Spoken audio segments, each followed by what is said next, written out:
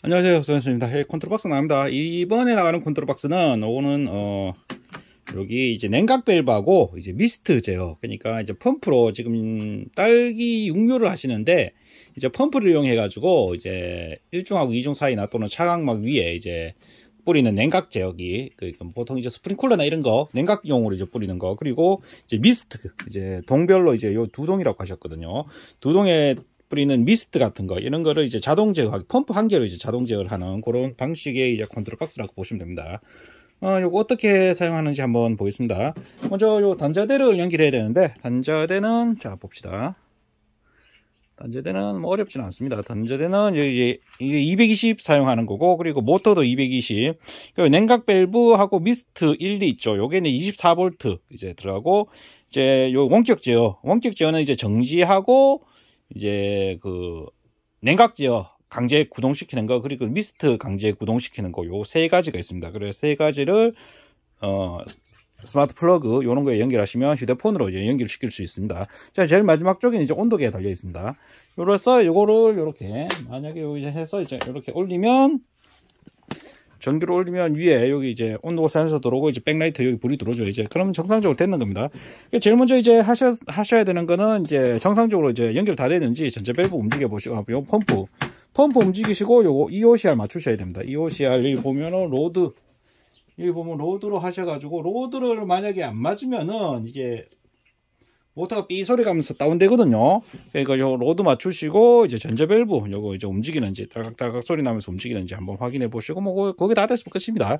만약 수동으로 하시면 이제 냉각 밸브 열고 이제 모터를 수동으로 돌릴 수도 있고 또 미스트를 이제 수동으로 열고 요런 식으로 요건 수동으로 제어하는 거고 어, 자동으로 제어하는 거는 몇 가지가 있습니다. 자동으로는 이제 미스트 같은 거 1회 작동을 하는 거고, 아니면 냉각 제어기도 이제 연속으로 계속 하는 거 방식이고, 어, 연속으로 계속 하는데, 이제 수동으로 제어할 때는 이제 트윈 타이머에서 돌아갑니다. 일단 요거, 요거 자동으로 해서 보면은, 요런 식으로 돌다가, 요거 이제, 그, 냉각 제어기는 여기 이제 트윈 타이머가 달렸는데, 요게 작동하고 반복을 요런 식으로 계속 반복합니다. 왜냐하면 물을 계속 뿌리면 너무 이제 물이 문제가 생길 수 있거든요. 그래서 이제 뿌리고 정지하는 거를 여기 있는 이제 냉각 제어 타이머로 이제 합니다. 그래서 상단이 작동되는 거 밑에가 지금은 이제 10분 단위로 되어 있고 요거는 뭐 하시려고 하면 초 단위로 하셔도 됩니다. 초 단위로도 되고 뭐 여러 가지 방법이 있으니까 고려하시면 되고 요 이제 미스트 작동 요 하는 것도 요것도 이제 1구역, 2구역 여기 대기 타임. 그래서 요것도 이제 반복으로 뭐한 반복으로 됩니다. 요 같은 경우는 요렇게 작동되는 거 만약 미스트를 이제 이제 내가 이제 수동으로 완전 돌리고 싶다 하면은 이런 식으로 돌리면 이쪽에 이렇게 이런 식으로 이제 대기 들어가고 계속 반복됩니다. 이런 식으로. 대기 요게 대기 타임이거든요.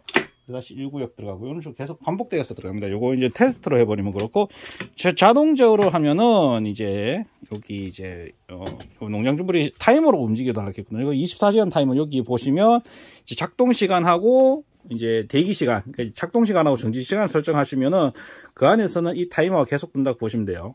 계속 돌다가 이제 마지막 타임은 이제 한 사이클이 더 돈다. 그렇게 보시면 됩니다. 그래서 보통 이제 요 자동으로 놔두고 자동으로 놔뒀을 때 이제 그 냉각 제어는 요 온도계에 의해서 움직인다고 보시면 돼요. 온도계가 뭐 설정지보다 온도계가 높으면은 돈다고 그렇게 이해하시면 됩니다.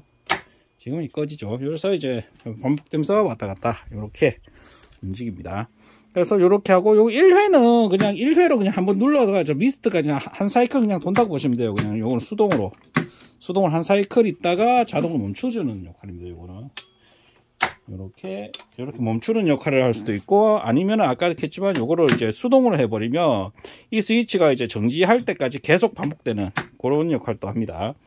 아 그리고 이제 마지막으로 휴대폰 하는 거 한번 보여드리면 휴대폰은 이제 버튼이 요 밑에 건 아니고 요거 세개 있다고 보시면 정지 냉각 미스트 그 정지 버튼은 말 그대로 이제 이 자동화 시켜 놨을 때 이제 내가 이제 외부에 있는데 자동화 시켰는데 뭐 날씨가 흐리거나 해서 안 돌아가야 되겠다 싶으면은 안 돌아가게. 예를 들면은 여기 온도계가 온도가 이제 낮아져도 여기 불이 들어왔죠 위에. 여기 카메라가 좀 안 보이네. 아 좀 꺾읍시다. 삐딱해도. 여기 불이 들어왔죠. 불이 들어왔는데도 여기 안 돌고 있죠 왜냐하면은 여기 보면은 이제 버튼에 정지 버튼이 이렇게 들어갔기 때문에 그래서 정지 버튼을 꺼주면은 이렇게 돌아갑니다.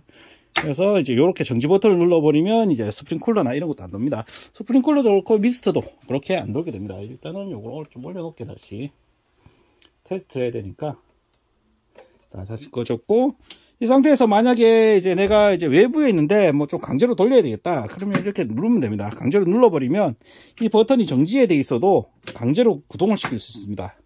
이런 식으로. 온도를 무시하고 어, 시간으로 할 수도 요 안에 프로그램 안에 시간으로 설정을 할 수도 있으니까 그런 식으로 할 수도 있습니다. 자 그리고 미스트 제거하는 거. 미스트도 요렇게. 미스트도 한 번만 이렇게 꺼버리면은 한 바퀴 로테이션 돌고 꺼집니다. 요렇게 한 번 하고 꺼버리면은 요거는 이제 한번 신호가 들어오면 로테이션으로 돌게 돼 있거든요 이렇게. 근데 만약에 미스트를 이렇게 계속 켜놓잖아요 이렇게 원격으로. 그러면 이것도 똑같이 타이머 있는 것도 똑같아요. 계속 반복 이런 식으로 됩니다. 그래서 기본적으로는 요 위에 상단에 있는 타이머에 모든 걸 다 설정하지만 이제 외부에 있을 때 내가 특정하게 이제 패널 말고 이제 다른 방식으로 해가지고 좀 어떻게 운영을 하고 싶다 하시면은 어, 요 휴대폰으로 해서 연동시켜서 이렇게 쓸 수도 있다. 라는 것까지 알려드리면서 요거는 컨트롤 박스 사용 설명서는 어, 사용하시는 분이 그 기존에 이제 제 컨트롤 박스가 이제 좀 나간 사용하시는 분이 주문을 하기 때문에 뭐 크게 어렵진 않을 겁니다. 이렇게 해서 쓰시면은 뭐 어렵진 않게 쓸 수 있으니까 하시면서 궁금한 사항이 있으시면은 또 연락 주시면 좀 더 상세하게 설명해 드릴 수 있도록 하겠습니다. 오늘 동영상은 여기까지입니다. 감사합니다.